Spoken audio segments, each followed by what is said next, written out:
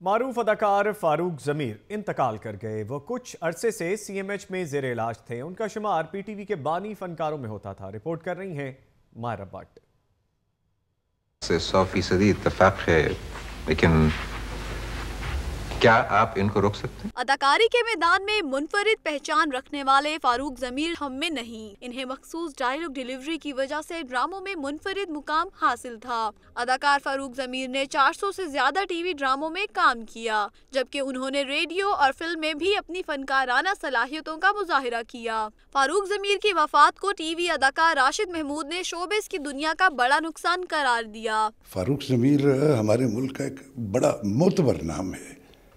बड़ी भरपूर प्रोफ़ाइल है उनकी, बेशुमार कोटेशन है उनके काम की। खूबसूरत ऑडियोग्राफर खूबसूरत परफॉर्मर और सबसे बढ़कर बेहतरीन और सॉफ्ट इंसान सबसे मोहब्बत करने वाले। पीटीवी के बानी फनकारों में शुमार होने वाले अदाकार फारूक जमीर आज हम में नहीं, लेकिन इनकी शोबिस इंडस्ट्री के लिए की जाने वाली खिदमात को हमेशा याद रखा जाएगा। कैमरामैन शहबाज भट्टी के साथ, मायरा बट लाहौर न्यूज़